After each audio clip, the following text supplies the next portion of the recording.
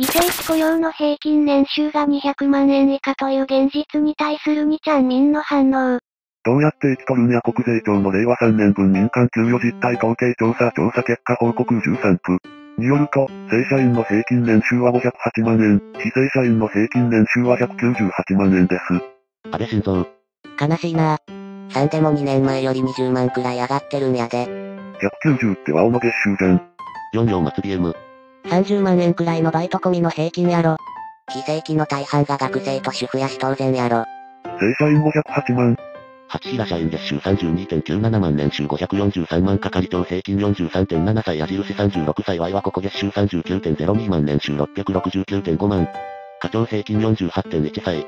月収52.55万年収858.1万部長平均52.7歳。月収63.57万円年収1000.8万円。10お前のことなんて誰も聞いてねえだろくさ。10好き見せちゃったね14、13で係長とか出世遅くね231大企業だと人数多いし競争率考えたらこんなもんやで同期の人数が多くなるから Y の会社だと40までに係長なれるの1割5くらいや。260 Y のところも1割4くらいは平のまま定年する過去会社に出向して肩書きだけ上げるかみたいな感じやな。266-40前で出世公式丸し外れると悲惨よな一世平田と糞みたいにこき使われて退職金だけじゃ老後生きられないし死ぬまでバイト生活やで。8000年代含めたら低いぐらいや。ありがとう自民党。非正規で700万のやつとかもいるんか。非正規かつ一人暮らししてるやつだけで統計取らないと非正規まともな数値ならんやろ。時給1000円くらいなんだからとてもじゃないけど200万円いかないわな。結構稼ぐんやな。こいつらを増やそうとしてるんやろありがとう自民党。非正規増えれば正社員様の給料増えるんか？16同一労働同一賃金だから非正規の待遇改善する余裕のない企業は正社員の待遇を下げて非正規に合わせないといけなくなる。16確実に減る。無期雇用社員も非正規社員になるんやろか社内規定では正社員やけど一般的には非正規雇用やろ。わいやけど実家やね。頑張った人が報われる社会なんだからそりゃあね。非正規や近12時間勤務で年収350万円くらいあったななおたいボロボロ。これって午前だけ働いてるパートのおばちゃん含んでるからこんなもんでしょ。Y 非正規、1500万。若者昇進すると責任だけ増える。なりたくない。搾取。米印なりたくてもなれません。Y 大手企業の窓際社員、何もせず年収600万円。わあもう大手企業の係長なのに今日1日何時でゲームの話してた。ギリギリやね。もう終わりだよこの国。その年収から税金やら年金やら引かれるんやろ。さらにこの物価高やろ。マジでどうやって生きてるんや。30地な平社員だと退職金2000万切るらしい係長より上でやっと2000万や。定年後の年寄りとか入ってるからとかちゃうの？さすがに働き盛りでこの収入はアホすぎるやろ。31地方のブラックだと社員でも200いかないのばっかりやぞ。37手取り考えたら実家でもきついな。不要やろな。非正規パート。やろ ?Y 手取り17やめようとしてる。毎月カツカツの Y の半分程度いな。非正規になるくらいなら生活保護の方がええな。39生活保護増えすぎて年々厳しくなってるし近い将来破綻するできっと。39なお生活保護。57食いすぎ定期。105生活保護は貯金ができんから散財せなあかんらしいで。57やっぱり昔の人間って老けて見えるな今の水準で50に見える。最近何やん地方のごとの割合とかみたいな。非正規って主婦とか大学生とかちゃうの。41それより老人よ。ひどすぎやろ。ここに保証なしがセーフなんよな。アルバイトフルタイムの方が金もらえるくらいやん。美しい国。上級に吸い上げられている。不要の壁の設定が激安時給時代のままで働けず人手不足なんくさ。年収400万の Y はギリセーフか ?51、600万以下は社会の恩恵で生かされとるお荷物って言われたぜ。56それなら公務員の大半がお荷物やからそれはない。69日本は少数の富裕層のおかげで成り立ってるんや。普通に学生バイトとかおばちゃんパート込みの数字やな。家賃内ならギリギリ生活できるな。Y 正社員240万。日本って派遣会社多いよな直接雇用増やした方が良いのに。Y 昨日利確できてれば今月もう170、80万いってたのに顔。ありがとう自民党。そりゃなん自民の普段の会話も貧乏臭くなるわな。自称フリーターの半分無職が足引っ張りすぎやろ。200万未満は生きてけないだろさすがににしても自業自得としか思わんけど。そんな年収で働くなら生ポでよくない？手取りにしたら変わらんやろ。中央値はもっと下なんかな。64もっと悲惨やで。64そら中央値はもっと下やで。だから中央値出せよと。勝手が足引っ張ってるだけで地方のスーパー寄ってパート募集の張り紙見たら時給900円2万とか当たり前でそらそうやろって。額面で200って手取り14.5万もないのか。非正規ぐらい税金免除してやれよこれで税金引かれてどうやって生活してんの？なんで正社員のところに応募しないんや75応募して落ちとるんやろ。75学生は正社員やれんやろ主婦は旦那の扶養を超えたくないのが非正規でやってるし老人は引退して週3程度ではみたいな再雇用や正社員やる意味ない層が非正規の大半や。インボイスでさらに終わるで。手取りで13万とか。年収200万以下は時給1000円くらいのレベルやな。そら非正規雇用って主婦のバイトや老人の再雇用が大半やろ。96若者の酒離れって大学で無理やり飲まされることがなくなったのが一番でかい話やと思うがタバコも同様。96Z 世代の食事がこちら。113枚たとかいう件も御用達。113 1週間くらいで死ぬやろこれ。148時化発電の時期が早まってる説ないか156単純に Z 世代の給食がやばいからやろ。176こんなんどうせ極端な例やろてか20年くらい前でも上の給食くらいあったわ。189お前がそう思うならそうなんだろお前の中ではな。176給食ガチでやばくて草飼育小屋のモルモットの餌レベルやん。176でも自民党支持するんでしょこいつら自業自得じゃん。うんち。定年退職時じいがアルバイトしとるわ。パートのおばちゃんとかやろ。マジでどのレベルの話なんだこれは胃の周りで年収200万切ってるやつとか見たことねえぞまだ20前半だけど同年代でもそんなやついねえわパートの主婦とかじゃねえのこの統計の対象。86大学生とか。ありがとう自民党。安倍晋三。88世紀の大嘘つき。88一生恨まれそう。地方の大学中退の高卒でもハロワ行って30歳年収500万いけたけど何をしたらそうなるの？89、30前に昇進諦めたやつとか年収500届かずにのらりくらり生きとるやろ。清掃や警備員って年配の方多いよねまあ体力的な負担はほとんどないからな。こっから所得税増税して国防費にする予定なんやろすまん非正規のやつってなんでトラックとかやらんの？正社でいくらも求人あるぞ。92トラック運転するのって難しそうだし普通免許取るのに苦労したワイには無理。小同時でもしんどいやん。Y は35歳正社員派遣で240万なんやけど、正社員の平均年収ってそんなに高いのか用地の会社の課長クラスでも400万くらいなんやがどうなってんの97バイトリーダーみたいな給料で草。もしかしてついに日本の成長を阻害してるの見つかった？?Y の彼女、登録派遣だけど月収34やから年収400万だわこれ以下のやついんの？年収200万円の親とか親ガチャ外れやろちなみに YKB の仲間に子供おるやつおるけど Y の月給13万円やでだからそいつもそんくらいや。101Y は典型的な A 君や大学うんちだったけど就職はコネで大企業や。126人生交換してほしいは127なお地方 GDP と地方公務員の年収。101親ガチャ通貨地域ガチャ外れだなだからカッペはマジで無面に人権ないんだ。127福岡ですら都道府県別最低賃金20位とかだったな。非正規でしか働けないのはさすがに自業自得すぎて何も同情できんわ。パートの主婦が平均下げてるだけでしょ？見た目より玉が早いな。パート主婦とか学生アルバイトも含んでるんか？111もちろんや。パートとか入れたらそんなもんやろ。仕事する気あるのになんでわざわざ非正規雇用するんやろな普通に就職か転職したらええのに。男女若年層と女性高齢層でパート。アルバイトが大幅増加非正規社員の現状を探る2023年公開版愛国弱男の発表する現実ネオ。大学時代の Y は非正規年収36万やったこういうデータは外れ値削ってメジアンとモード圏なあかんで。あーパート主婦とかも含めてんのかだったらまあ納得。覚えとけばいいのは何歳になってもコンビニに商品を届けるトラックドライバーの職は正社であるぞ。118トラックドライバーとか休みなしボーナスなしやろうし土日祝休みの派遣の方が幸せそう。118自動運転が実装されたら減りそうだが。あー年寄りがボケ防止に働いてるのとかも含めて過小もないやんわら。週に3日出勤のパートのおばはんが多すぎるんよなどこの業界もいい加減産後期保険者とかやめて子育て終わった主婦も働かすようにしろよ。現代の実情に合ってなさすぎるわ。日本の生産性が低いのは人口に対して就労人口が少なすぎるからが一番の原因ってもう10年20年前からデータ出てるのにな。これは例だから問題ない。これはあらゆることで何十年もやってた結果このざまだよ。地方中小の給与のいい調べ方知らん。派遣先の会社で格安スマホの布教してたら正社員のヤシに金困ってないからなーってボソッと言われて思わず殴りかかっても歌はあいつ絶対に許さん。非正規フルタイムの平均年収ならいくらなんやろな250、300くらいやろか。132最低時9500で300万いかんからそんなないよ。137残業代とか手当ゼロならやろ。137厚生労働省賃金構造基本統計調査によると、2018年における非正規雇用者の時給は1475円と前年比プラス44円と増加したず1。宮で。でも地方とか考えると中央値はもう少し下やろな。陰性 Y の去年はバイト100万と投資で20万やったわこんな生活早くやめて働きたい。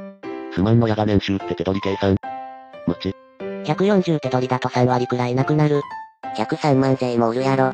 141これいつまで続けるんやろうなおかげで上限いくと分離課税の株くらいでしか稼げない。月5万でも生活できるからな。142これでファイヤーだと言い切ってるのが泣ける。142もうこれ息しながら死んでるやろ。142レグラーの出費で死ぬやんわら働く以上にストレス溜まるわわら。142プロテインなんて贅沢なもの飲むな。164楽やろアホかな。164頭悪そう。142人生リタイアしとるやん。142プロテインって栄養塩。非正規って望んで非正規でいる人が大半ちゃうの。年収はどうでもよいけど昼休み2時間くらい欲しいわ。145フルリモートなら定時まで休憩時間やぞ。でもな非正規のやつでもいずれは老後がやってくるんやぞその時どうする ?60 歳過ぎてもやれる職業ってドライバー系やねん早い段階で車を運転して何かをどこかに届ける仕事を経験してステップアップしとくのは絶対役に立つぞ。151それはそうだから無面に人権ないと何度も。151警備と清掃でええんやないか。151仕事時間中にドローン勉強して免許取ったぜ。じじいになったら無人配達のオペレーターになるんや。151そこまで生きれたらもうどうでもよくなってそう。151非正規は40で死ぬべき30でもいいけど。適当に働いても生きていけるそう。小同時なら NE 欲し。都内で手取り15万でも独身なら余裕よ老後は知らん。子供不自由なく育てるんは世帯年収1000万は必要言われてるしこれやと絶望的やな。若者はチンの助も小さくなってるらしいな大化。いや進化なんやろな。マジで貧困そうやんアメリカにもこのレベルはおらんやろ。160歩移民が山ほどおるやろ。186 1個買えば1個無料の意味だろ地匠。271お前もしかしてフリーって英語知らんやろさては中卒やな。田舎のパートの張り紙見ると時給900円とかだからフルタイムで働いても手取り12万くらい。実家住みでもないと無理だろ。生活保護の代わりに10万で安楽死する権利売ったらええやん税収も上がるで。163楽やろ1000万くらいにして死ぬために頑張らさせるんや。嫌なら非正規にならんかったらええだけやしな。小同時なら家賃かからないし小同時で金貯めてファイヤーが正解なんか？166一生独身ならそれでええんやないか無駄に一人で暮らすメリットないやろあまり貯金減らん程度のバイトくらいした方が精神衛生上良さそうやけど。なんでそこまでして働くことにこだわるのか政府で十分やん。167勝ちで今財政難なりつつあるし政府に見放されたらおしまいやで。167後5年以内に破綻しそうなもんに人生預けるやつおらんやろ年金も100%破綻するし。普通免許で乗れるトラックあるから、そういうのからやっといた方が栄誉会社で中型とか取らせてくれるとこいくらもあるし。失業保険。でも小同時ならこの年収でも月5万スパチャする余裕あるよね。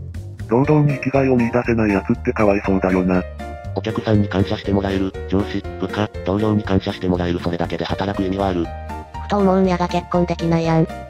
そしたら子供も増えんやん。優秀な遺伝子の子らだけ増えてくやん楽にいいのでは？誰も無駄な命を失わずに済む間引きや。178日本の経済は死ぬで。188でも生まれるはずだった命たちはそれすら知らずに済むやん。195それはただの反出生主義や。178世やで子供は量より質なんや。193量もないと押しつぶされるだけだぞ。201何に押しつぶされるんだよ大事よ。178なんで結婚できるような優勢遺伝子からお前らみたいなのが生まれるの ?199 少なくとも割合は減らせるやん。人生サボったゴミやもんというか正社員平均すらやる気のある個人事業主抜け取るからかなり低くで取るし。剣も特有の画像コピペ。まあ今の時代金かからん娯楽も増えてきとるし。期間校は岩3月残業祭りで40万近かったで。税金に規制するために103万までに抑えとる非正規が大半やしな。でも非正規も自民党を支持してるし自ら進んで貧困を望んでるんでしょ？ならよかったじゃんお望み通り貧困になれて。底辺這いずってる連中しかおらんのなここ県もいかなんじゃね。192位年越えて初任給みたいな給料で汗水垂らしてみたいなやつ見るとむしろ親ガチャってあるんやなって気分になるわ金も頭も足りないろくな親じゃなかったんやろなって。ありがとう自民党素晴らしい奴隷国家だな103万以上になると大損する国で働く非正規って。個人的には年寄りの医療費を削って子供の給食費に充てるべきだと思う。218多額の年金払ってるのそのうちの右半分だけやで払わなかったやつには払われないそれが年金や。238また息を吐くように嘘をついてる知的1級精神1級持ちながら障害者施設で副社長して事務やって給料も障害年金も満額もらってるやつ知ってるぞ。しかも年金一度も払わずに大人になったら即もらってるからなその障害者結局は診断でどんだけ医者のコネでいいこと書いてもらうかまたは同情変えるかにかかってるだけ。しかも年金一度も払わずに大人になったら即もらってるからなその障害者結局は診断でどんだけ医者のコネでいいこと書いてもらうかまたは同情変えるかにかかってるだけ。246円や未成年の時に負った障害ならそりゃそうやろ。256お前年金は払ったものにしか払われない言うたやん払ってないのにもらってる生まれながらの障害者とかいるのにそれじゃ嘘ってことになるよな。264まだ年金をもらってない氷河期世代でって一文が抜け取るだけやすまんすまん。269それなら納得やないんやで。218どうせ氷河期とか犯罪しかやらんしガス室入れて代わりにペットショップの犬と猫に年金と生母代払ってやってほしいわ。247氷河期のに年金も退職金も没収の声を高めるんや。逆に正社員で残業しまくり休日出勤もありで未婚のやつは終わってると思うわよほどの独身貴族で高級車乗り回すくらいプライベート充実してないと虚無感半端なさそう。198なんでそんな究極思考なの？生きるの難しくない？今時20代30代でフルタイムで働くなら企業側も正社員にしない理由ねえからな非正規でいたいって若者層は相応の理由ありやろうしな。正社員平均がうちの新卒より低いやんけ。小同時で家賃さえなきゃ生活費なんてほとんどかからんしな。底辺の仕事は全部 AI ができるとかやったらええけど残念ながらそう配管や底辺は必要。206機械にやらせるより人にやらせる方がコスパいい仕事は変わらんな楽に金かかる仕事の方が奪われる。ガチでアホな Z に影響されずに昇進だけはしておいた方がいいでサボれるかなんて職場ガチャ次第やし役職あまり関係ないで。実家暮らし正社員最強やん貯金たまりまくりやろ。実家暮らしで結婚諦めるんだったらこれでも生きてはいけるやろ。世界最高の GDP。国力の国でもこれやで国にどうにかしてもらえるなんて幻想やからか。米国、国民の64%がその日暮らしギリギリの生活を送る人は過去最高水準。213日本みたいに底辺を過剰に優遇してないから GDP 世界一なんや。Y の遺伝子持った子供生まれるのかわいそうやしな。216お前の遺伝子から親や藤井聡太志みたいなのが生まれるかもしれんぞ結局優秀な人材も数打った方が生まれやすい。223でも可能性であって確定ではない暗くじも回さなければ外れを引くこともない。年齢別に見たら氷河期が占めてそう。217男は若者と老人が大半やろ。217日本人の4人に1人は氷河期世代やからなこいつら殺処分すれば日本は復活するで年金6にないし70歳にならないともらえないとかの時代やで60歳でリタイアできる奴はエリートよ多くの奴は60歳超えても働かないとダメになる。普通免許でトラック乗れるから、そういうのから経験しといた方がええよ60歳で初めてドライバー系やりますとか不安しかないやろ。こういう非正規ってなりたくてなっているでしょ ?5 年にとはいでも平均くらいもらっているだから好き好んでいるわけなんだからどうでもよくない非正規なんて。政府結婚適正年齢の20代はカスみたいな給料だけど結婚して子供産んで家買って経済回せ。顔無理ゲーでは ?226 期市大次元の少子化対策を実施するのでご期待ください。Y は月8回公共施設の施設警備を17時から翌朝8時までやって年収320万もらってる仕事は椅子に座ってモニター見てるだけで停電がなければ異常警報はならないからいつも宿直室でテレビ見ながらスマホいじってる。一人勤務だから寝ててもバレないいつも7時に起きて場内を一周して日勤に引き継いで終わりこれで手取り21万とボーナス年2回もらえるからやめられない。もらいすぎ困ってる人に寄付しろ。Y が平均150万下げてるんやすまんな。中華そんなにお金もらってどうすんねんという気もするなんなら世帯年収250とかでも親や補助金に頼れば地方で子育てくらいできるやん。フルタイムのバイトとかやってるやつの正体。237バイトしてた倉庫や通れない俳優通れない芸人がフルタイムでやってた。ありがとう自民党。星1円も年金払わず年金もらってる人障害者外国人障害者星満額払わないと年金もらえない人段階の世代氷河期世代公務員星年金払ってるのにもらえない人ゆとり世代 Z 世代。でも主婦やら年寄りが多いと考えたら働き盛りの非正規の年収結構高いってことよなわら。最後までご視聴いただきありがとうございます。議論はまだまだ続いていましたが今回はここでおしまい。思うところがあったらコメントやチャンネル登録をしていただけると嬉しいです。それではまた次の動画でお会いしましょう。